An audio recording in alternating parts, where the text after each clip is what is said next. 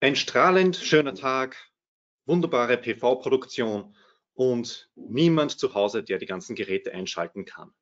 Was kann man da tun?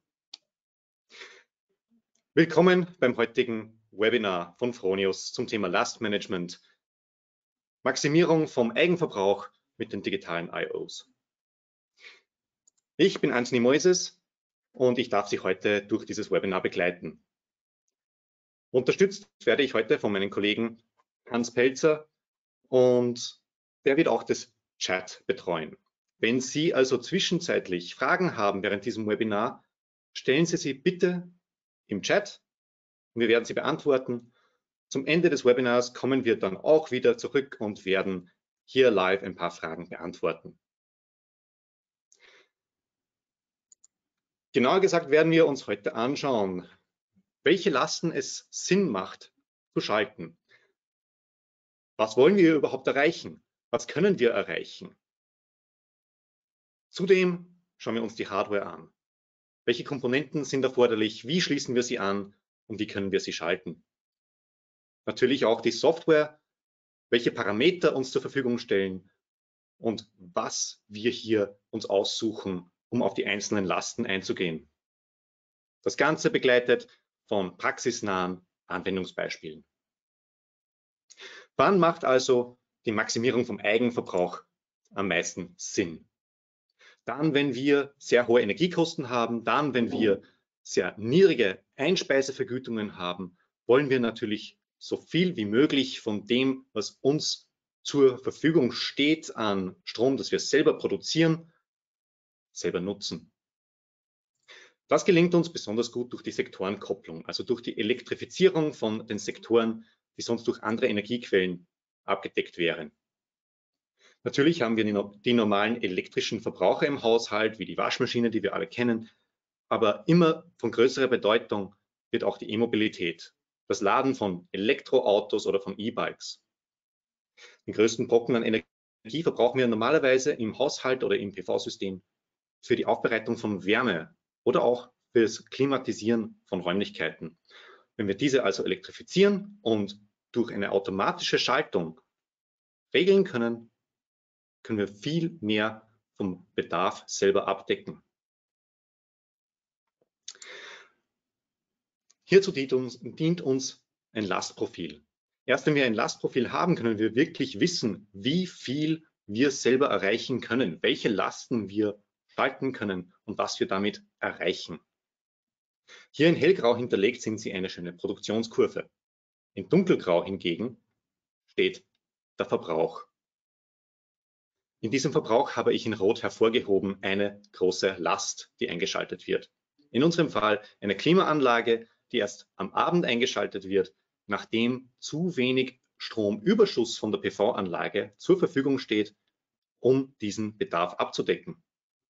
Hier wird also teurer Strom aus dem Netz bezogen.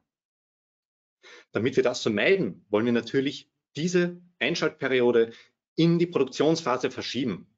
Und das gelingt uns mit den digitalen IOs.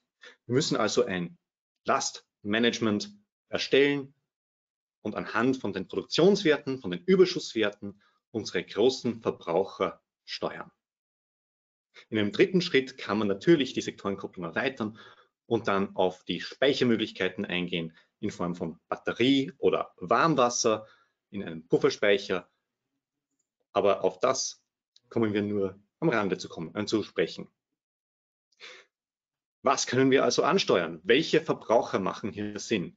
Wir können einzelne Kreise schalten. Das könnten einf einfache Verbräucher sein oder ein Kreis, wo ich zum Beispiel kleinere Akkuladegeräte habe.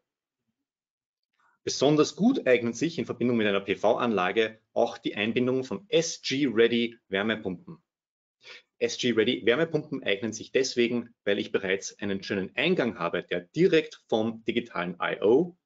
in die Wärmepumpensteuerung eingeht und die Wärmepumpe in einen erhöhten Betrieb versetzt, also Betriebsstufe 3, wo die Wärmepumpe eine, eine höhere Temperatur erzeugt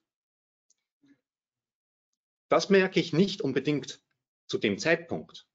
Aber erst wenn ich nachher auf die Stromrechnung schaue und sehe, dass ich fast keinen Strom aus dem Netz beziehen haben müssen, weil ich bereits untertags während der Produktionsphase diese Energie erzeugt und im Haus gespeichert habe. Weiter gibt es Perioden, wo wir besondere äh, Lasten mehr beanspruchen. Besonders dann, wenn die Sonne scheint, also in den Sommermonaten an einem schönen sonnigen Tag, brauche ich eine Bewässerungspumpe. Ich muss vielleicht mehr umwälzen beim Wasser oder klassisches Beispiel die Poolpumpe. Diese eignen sich natürlich hervorragend in Kombination mit diesen IOs, um produktionsabhängig geschaltet zu werden. Bereits erwähnt habe ich natürlich auch die Klimaanlage. Bei der Klimaanlage sieht die Verbrauchskurve nahezu ident mit der Produktionskurve einer PV-Anlage aus. Natürlich, die Sonne scheint, dann erzeugt es Wärme und genau dann habe ich auch viel von meiner PV-Anlage. Welche Komponenten werden benötigt? In einer PV-Anlage haben wir höchstwahrscheinlich bereits unseren Wechselrichter. Das ist eine ganz wichtige Komponente, denn dort befinden sich auch unsere IOs. Zudem empfehlen wir in den meisten Systemen auch den Smart Meter zu verbauen. Manche Funktionen funktionieren auch ohne den Smart Meter, aber für die meisten, und zwar alle, die Leistungsüberschuss gesteuert werden, brauchen wir natürlich diese Information vom Smart Meter. Die zusätzlichen Komponenten, die wir brauchen, sind Kabel und Relais. Auf die kommen wir dann gleich wieder zu sprechen. Zuerst einmal die digitalen IOs. Sie müssen nichts zusätzlich erwerben für diese IOs. Sie sind bereits ab Werk serienmäßig integriert. An der Datenkarte von dem Wechselrichter befindet sich dieser orange Stecker, der auch extrem leicht eine Einbindung ermöglicht. Dadurch, dass er entfernbar ist, lassen sich die Lizen leicht verbinden und Sie können den Stecker wieder anstecken und sind hardwaremäßig bereits verbunden. Zudem müssen Sie nicht auswählen, ob Sie jetzt diese Möglichkeit der Kommunikation verwenden wollen und keine anderen. Natürlich können Sie alle anderen offenen Schnittstellen weiterhin verwenden. Die offenen IOs bieten lediglich eine zusätzliche Option an. Zum erwähnten Relais. Wir reden hier von einer 12 Volt Steuerspannung. Das gilt bei den Wechselrichtern von der Fronius Gen 24 Plus Serie wie auch für die Snap Inverter Serie. Bei der Snap Inverter Serie haben wir eine Spulenleistung von 3,6 Watt in Summe. Pro digitalen Ausgang brauche ich auch ein Relais. Je mehr ich davon verwende, umso mehr muss ich in dieser Summe berücksichtigen und die Gesamtsumme sollte unter 3,6 Watt betragen. Bei der Gen 24 Plus Serie haben wir diese Leistung auf 6 Watt erhöht. Sollten die 6 Watt nicht ausreichen, kann man sich auch mit einem zusätzlichen Netzteil behelfen. Produkte wie die Finder Serie 19 eignen sich zum Beispiel auch, wenn man drei Relais gleichzeitig verwenden möchte. Weitere Informationen zu den Relais finden Sie auch im White Paper zu diesem Thema auf unserer Homepage. Wo wollen wir diesen Relais einbauen? Natürlich muss der eine direkte Verbindung zum Wechselrichter haben. Die 12 Volt Spannung geht natürlich vom Wechselrichter auf unser Relais. Zwischen dem Relais und der Last empfiehlt sich unter Umständen auch ein zusätzlicher manueller Schalter. Nehmen wir uns unser Beispiel von der Poolpumpe wieder her. Ich will nicht unbedingt am Abend nach Hause kommen, feststellen, dass ich eine Wartung durchführen möchte oder rückspülen möchte und dann auf die Sonne warten muss. Ich will einen Knopf betätigen können und direkt rückspülen können. Wie schließen wir die IOs also konkret auf unserem Wechselrichter an? Wir haben an der Unterseite von der Datenkarte eben diesen orangen Stecker und dort finden wir die IOs IO0, IO1, IO2 und IO3. Von diesen Plugs fahren wir mit einer Cat5 geschirmten Kabel mit verdrillten Adernpaaren, also Cat5 STP oder höher. Mit einer Lize fahren wir von dem zugeordneten Pin. Die Zuordnung schauen wir uns in einem weiteren Schritt noch an. und Retour dann auf GND Ground die Erdung, um den Kreis zu schließen. Wir empfehlen hier die Verwendung von IO1 bis IO3 für die Lastmanagement in Systemen, wo auch Notstromoptionen vorgesehen sind. IO0 wird hier reserviert für die Notstromschaltung. Haben wir die Hardware bereits angeschlossen, können wir uns der Software widmen.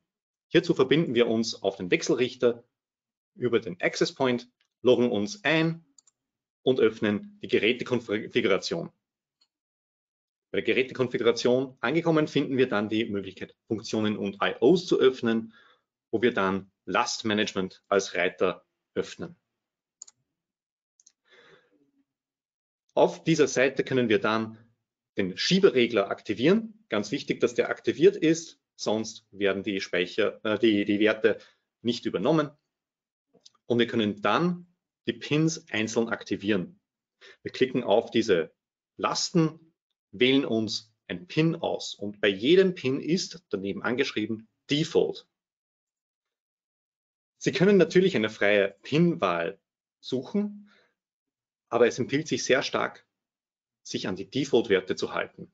Der Grund dafür, all unsere kompatiblen Partner halten sich auch an diese PIN-Belegung und auch unser Tech-Support verwendet die Annahme, dass diese Defaults gewählt wurden.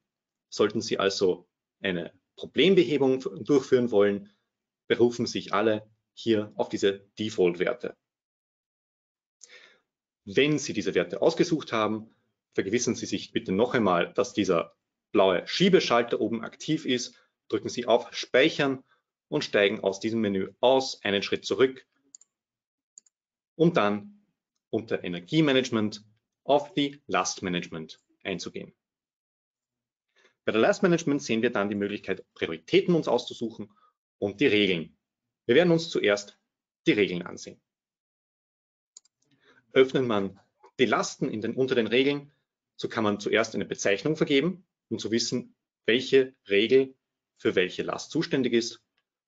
Und unter dem daneben liegenden Dropdown-Menü können wir uns aussuchen die produzierte Leistung und den Leistungsüberschuss. Bei der produzierten Leistung handelt es sich um die Leistung, die tatsächlich vom Wechselrichter erzeugt wird. Dabei wird nicht berücksichtigt, wie viel tatsächlich im System verwendet wird. Es ist also nicht die Einspeisung, sondern die produzierte Leistung des Wechselrichters. Beim Leistungsüberschuss hingegen wird der Wert vom Smart Meter übernommen und wir können anhand vom Überschuss unter Berücksichtigung der tatsächlich verwendeten Menge an Strom schalten. Wir werden uns im ersten Beispiel die produzierte Leistung näher ansehen. Hierfür nehmen wir das Beispiel einer Bewässerungspumpe und schalten die Schwellwerte. Bei den Schwellwerten haben wir die Möglichkeit von Ein- und Aus. Sobald wir bei dem Schwellwert für das Einschalten über dem angegebenen Schwellwert sind, wird sich die Last einschalten.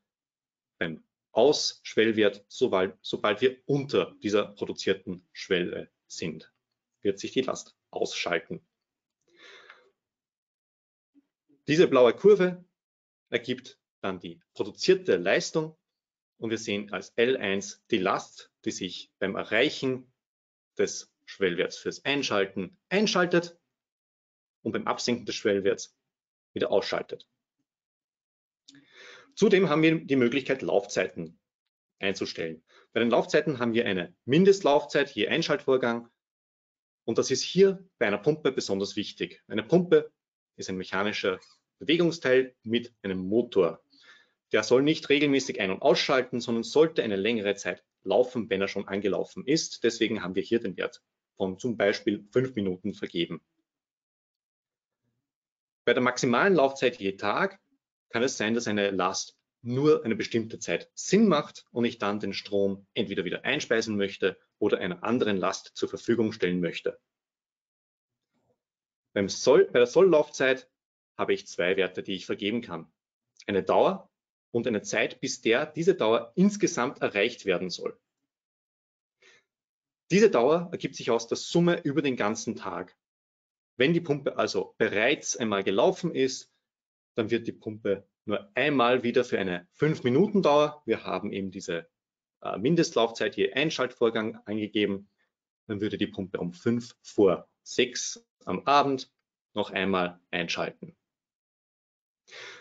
Für diesen Einschaltvorgang wird auch Strom vom Netz bezogen, wenn keine PV-Leistung da ist. Das ist also eine Absicherung für ein System, falls an dem Tag zu wenig Leistung vom Dach kommt, dass die Last trotzdem eine Zeit anlaufen kann. Dadurch ergibt sich eine verkürzte Zeit hier. Bei der zweiten Last schauen wir uns die, den Leistungsüberschuss etwas näher an. Für den Leistungsüberschuss habe ich hier ein Beispiel von einem Heizstab hergenommen und wir sehen, dass wir bei den Schwellwerten uns auch aussuchen können, ob wir den Bezug oder die Einspeisung äh, als Richtwert nehmen sollen. Wenn wir den Einschaltvorgang über einen Bezug schalten, dann muss der Bezug unter diesem Schwellwert liegen. Bei der Einspeisung muss es über dieser Einspeiseschwellwert liegen. Im Ausschalten natürlich genau analog umgekehrt. Hier haben wir also eine Einspeisung von 2,8 kW als Schwellwert fürs Einschalten von der Last. Diese Kurve ist also eine kombinierte Überschuss- und Bezugskurve. Wir sehen, dass es zwei Schaltvorgänge gibt, die jeweils ein- und ausgeschaltet werden. Wir haben natürlich auch die zweite Last. Wir könnten also noch schauen, wie es mit der ersten Last in Kombination aussieht. Die Lasten werden natürlich addiert. Sonst würden wir zwei Lasten parallel schalten und könnten nicht unterscheiden, ob wir jetzt gerade vom Netz beziehen oder nicht. Auch hier haben wir Laufzeiten definiert. Nachdem es ein Heizstab ist, brauche ich keine Mindestlaufzeit. Ein Heizstab eignet sich hervorragend zum schnellen Ein- und Ausschalten und zum Austarieren von Überschuss. Eine maximale Laufzeit je Tag ist in den meisten Fällen auch nicht unbedingt notwendig, außer ich will unbedingt wieder diese, äh, diesen Strom anderen Lasten zur Verfügung stellen. Ganz wichtig ist allerdings bei einem Heizstab, dass ich eine thermische Absicherung dahinter habe, damit sie nicht überlastet. Wir schalten nur ein, wir wollen natürlich, dass wir keine zu hohen Temperaturen an unserem Boiler erreichen. Eine Solllaufzeit kann mit einem Heizstab von sehr großer Bedeutung sein, da wir dann uns vergewissern können, dass wir tatsächlich Warmwasser haben, wenn wir am Abend heimkommen, auch bei Schlechtwetter, wenn die, äh, die PV-Anlage keinen Strom zur Verfügung gestellt hat. Somit schaltet sich dann die Last kurz vor 18 Uhr wieder ein, wenn untertags zu wenig Strom da war. Die Prioritäten befinden sich oberhalb von den Regeln. Sie gestalten sich als Drag-and-Drop-Menü. Die Batterie und der Ohmpilot bedienen sich auch bei geringerer Produktion. Es kann also gerade im Eigenheimbereich sinnvoll sein, dass wir die, äh, das Lastmanagement vorreihen. Beim Lastmanagement schaltet natürlich die Last erst dann ein, wenn die Schwellwerte auch erreicht werden. Das heißt, die Batterie wird bei unserem äh, Fall bis etwa 1800 Watt noch beziehen und erst ab dem ersten Schwellwert greift das Lastmanagement. Innerhalb vom Lastmanagement sind die Schwellwerte fürs Einschalten ausschlaggebend. In aufsteigender Reihenfolge. Die geringste also der geringste Einschaltschwellwert wird als erstes eingeschaltet. Sollten zwei Lasten den gleichen Wert haben, dann schalten sie in der Reihenfolge, in der sie hier in der Liste erscheinen. Haben wir unsere Regeln erstellt, haben wir die Prioritäten festgelegt, so müssen wir unbedingt auf Speichern drücken, bevor wir dann aussteigen aus dem Menü. Wie sieht es also aus, wenn wir drei Lasten parallel schalten würden. Zur Veranschaulichung. Zuerst würde die Last mit dem geringsten Schwellwert einschalten. Die zweite Last würde dann dazu addiert werden und die dritte Last natürlich erst dann, wenn wir tatsächlich ausreichend Überschuss zur Verfügung hätten. Ein paar weitere Anwendungsbeispiele. Wir können diese Steuerung von den digitalen IOs natürlich auch verwenden, um unter bestimmten Grenzen zu bleiben. In Kombination also mit unserer Einspeisebegrenzung. Wir können auch dafür sorgen, dass wir nicht zu viel beziehen. Wir haben ja diesen Bezug als Schaltschwellwert und wir können natürlich auch mehrere Lasten parallel ähnlich schalten. Sehen wir uns diese Beispiele etwas näher an. Bei der Einspeisebegrenzung wollen wir kurz unterhalb von, unserem, äh, von unserer Einspeisebegrenzung eine Last dazuschalten.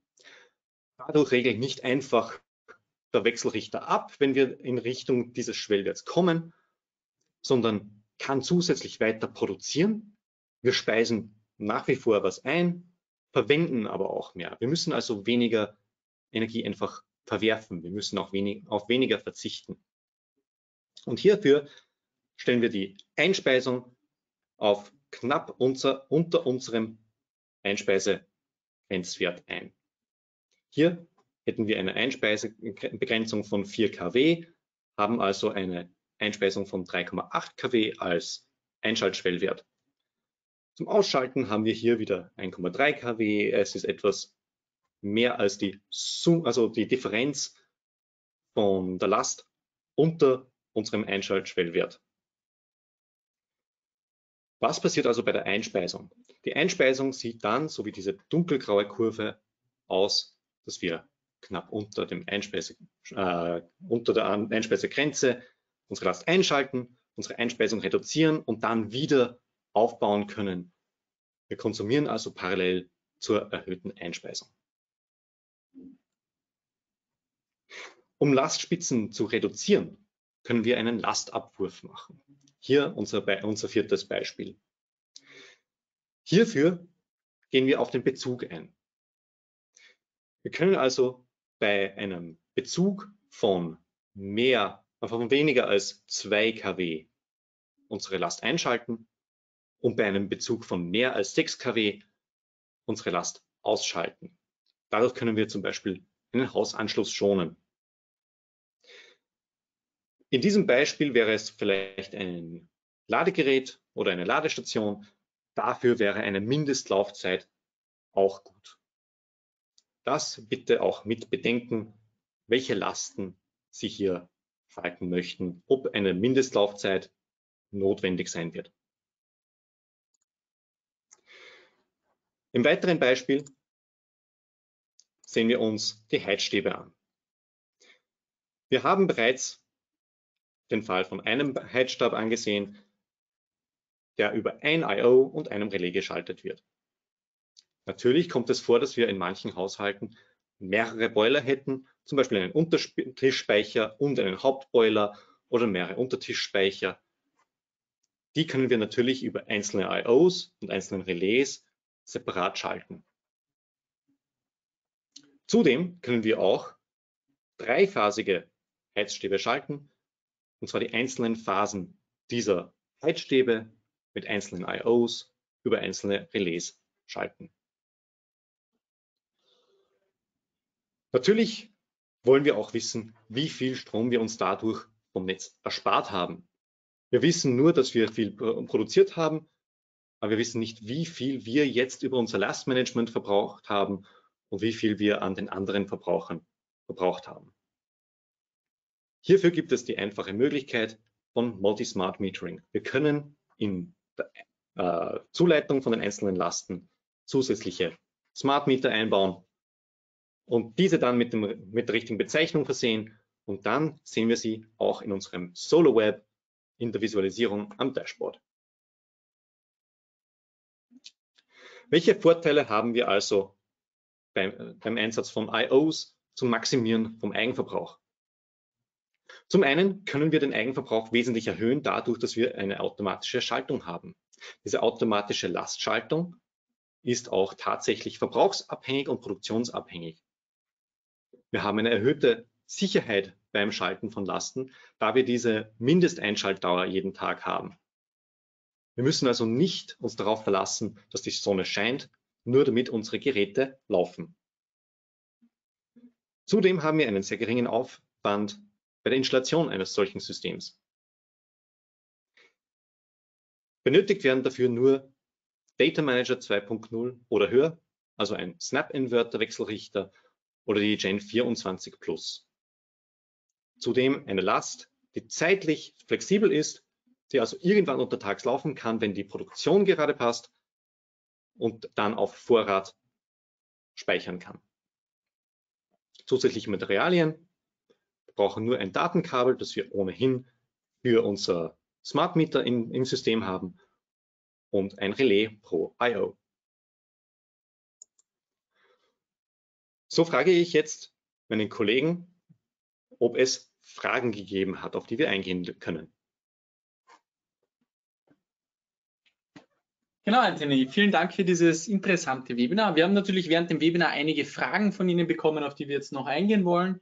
Äh, grundsätzlich, erste Frage, auf die ich eingehen will, können auch einphasige Lasten mit dem Lastmanagement geschalten werden? Hier ist die Antwort ganz klar ja. Einphasige Lasten können natürlich genauso geschalten werden. Das ist überhaupt kein Problem. Ob Sie jetzt hier eine dreiphasige Wärmepumpe oder einen einphasigen Verbraucher wie eine Steckdose, eine Poolpumpe oder was auch immer anstecken, ist überhaupt kein Thema. Können Sie natürlich jederzeit realisieren.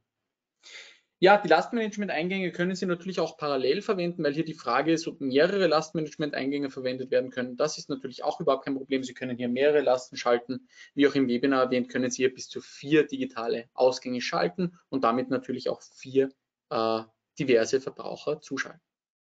Ja, wenn Sie hier weitere Fragen haben, äh, stellen Sie uns die gerne im Chat. Wir werden jetzt auch noch online für Sie dranbleiben. Äh, fragen Sie uns diese Fragen gerne und wir beantworten die Ihnen dann per Chat. Für die letzten Worte gebe ich noch einmal zurück an dich. Danke. Und auch Ihnen. Danke fürs Zuhören. Fragen Sie noch, wenn Sie Fragen haben. Und sonst bis zum nächsten Mal. Auf Wiedersehen.